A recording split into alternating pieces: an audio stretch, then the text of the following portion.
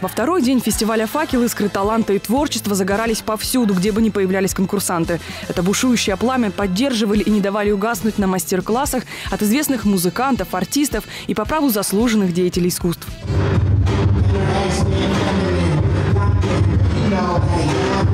Едва включается музыка, танцоры сразу же попадают в вихрь хип-хопа. Известного хореографа Александра Каргинова на «Факеле» всегда встречают громкими овациями. В одном ритме с ним здесь не просто двигаются, а, кажется, даже дышат. Мы вообще ждали очень давно этого мастер-класса. Как бы очень хотелось поработать с ним, что-нибудь научиться, чему-нибудь новому.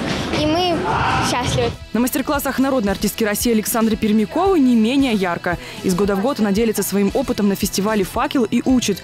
На сцене свой ансамбль можно чувствовать даже за спиной. Если ваша спина будет или холодеть будет, или мурашки пойдут по ней, значит, все правильно. Эти танцы отражают богатырскую удаль и широту русской души. Мастер-классы по народной хореографии тоже собирают аншлаги. Перед выступлением у конкурсантов еще есть шанс исправить ошибки и повысить свое мастерство. Я занимаюсь танцами с детей. Такой элемент, как веревочка, трудно дается достаточно. И сегодня отработали, поняли, как это делается, Как не бояться сцены и всегда оставаться искренним в любой роли. Самых маленьких артистов обучают художественные руководители детского музыкального театра «Домисолька» Иван Жиганов и Ольга Юдахина. Неталантливых детей не бывает. В каждом ребенке можно найти что-то очень интересное. Или он артистичен, или он э, очень хорошо поет. Главный педагогический прием в домисольке – ставить артиста в нестандартной ситуации, например, отключать фонограмму во время исполнения песни. Но выход из любого неловкого положения педагоги всегда подскажут. Нужно э, улыбаться, нужно кайфовать от всего танца до конца самого, пока не уйдешь за кулисы. А за кулисами можно уже там и лечь, и расплакаться, и, не знаю, засмеяться. Мир в ярких красках, солнечный, позитивный и очень добрый. Таким его видят юные художники. Выставка-конкурс детских рисунков проходит в рамках фестиваля «Факел ПАУ «Газпром». Свои творения представили дети сотрудников компании. Есть э, работа, где э, четко видно, что у, у ребенка есть свой взгляд на мир. Очень здорово, что через свои работы они нас в этом убеждают. Авторы лучших рисунков в мае отправятся в Сочи на финал фестиваля самодеятельности.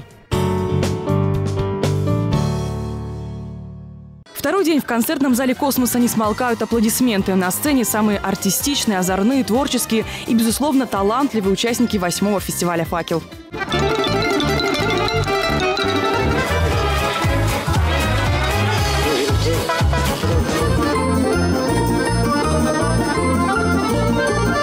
Народников сменяют эстрадные танцоры. Едва звучит последний аккорд номера, на сцене уже появляются цирковые артисты. За ними певцы и снова бушует огненное пламя творчества, разжигаемое участниками факела.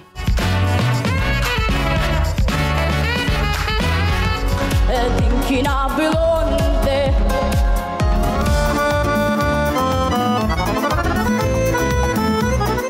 Выступление артистов словно разноцветный калейдоскоп.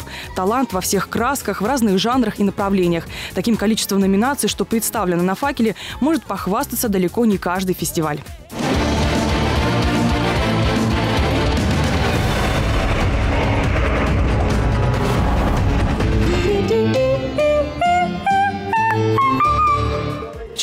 Не просто судят и выставляют оценки. На протяжении всего конкурса они помогают участникам найти свое место в огромном разнообразии творческих возможностей.